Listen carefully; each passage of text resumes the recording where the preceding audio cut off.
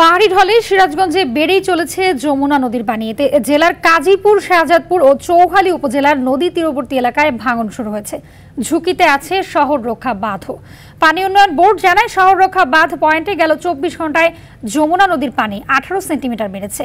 পানি বৃদ্ধির সঙ্গে তীব্র ঘূর্ণনের সৃষ্টি হচ্ছে। এর মধ্যে জেলার চারটি উপজেলার বিস্তীর্ণ চরাঞ্চল প্লাবিত হয়েছে। ডুবে গেছে বীজতলা, পাট, তিল ও সবজির ক্ষেত। তবে কুড়িগ্রামে কমেছে তিস্তা নদীর পানি। পানিবন্দী আছে জেলার নিম্নাঞ্চলের দশ হাজার মানুষ।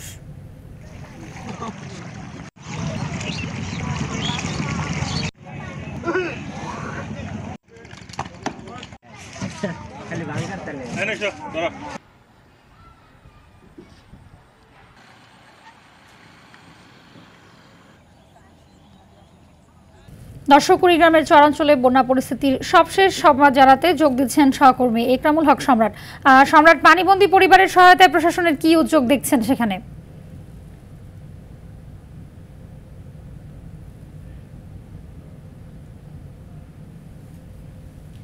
পানিবন্দী লোক সহায়তা নিয়ে যেটি বলছেন, তার আগে একটু আপনাকে জানিয়ে রাখি কুড়িগ্রামে নদ নদীর পানিগুলো কমতে শুরু করেছিল।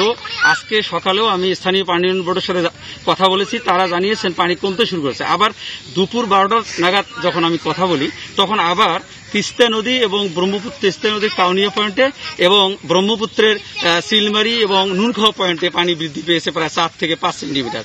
তবে নির্বাহী প্রকৌশলী আরিফুল ইসলাম জানিয়েছেন যে এখন পর্যন্ত বিপদ সীমার অনেক নিচে দিয়ে পানি প্রবাহিত হচ্ছে।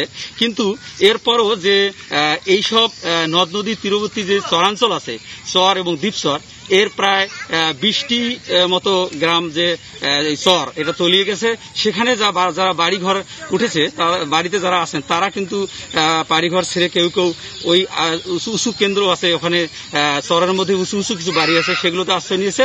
সেই সাথে ওখানকার যে সবজি ক্ষেত, এগুলো তলিয়ে গেছে। এবং তারা মানে আমি উপজেলা কৃষি, জেলা কৃষি সম্প্রসারণ কর্মকর্তা মঞ্জুরুল হকের সাথে কথা বলেছি। তিনি বলেছেন যে, জলমগ্ন যে সবজি ক্ষেতগুলো হয়েছে, এটা অল্প সময় হওয়ার কারণে কোনো ক্ষতি হবে না। পাশাপাশি সহায়তার কথা যেটি বলেছেন